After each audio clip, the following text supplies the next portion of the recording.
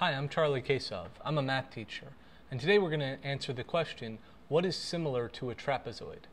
Now, depending on what you define as similar, we can look at it two ways. First, what is a trapezoid? A trapezoid is a quadrilateral that has two sides parallel. So, for example, say these two sides are parallel, and then we have this leg and this leg. Now, the sides that are not parallel are called legs.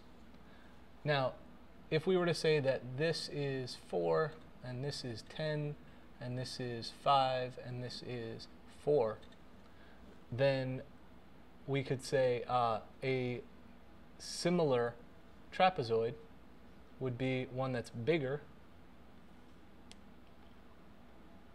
but let's say this angle here is x and this angle here is y, and this angle is z and this angle is W.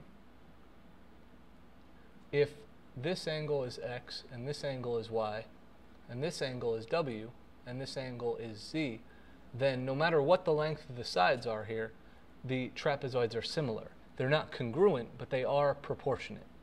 Now, another way we could think about similar to a trapezoid would be saying, well, a trapezoid is a quadrilateral, so any quadrilateral be it a rectangle or a parallelogram, is similar to a trapezoid in that they are all quadrilaterals. So I'm Charlie Kasov, and you've just learned what is similar to a trapezoid. Thanks.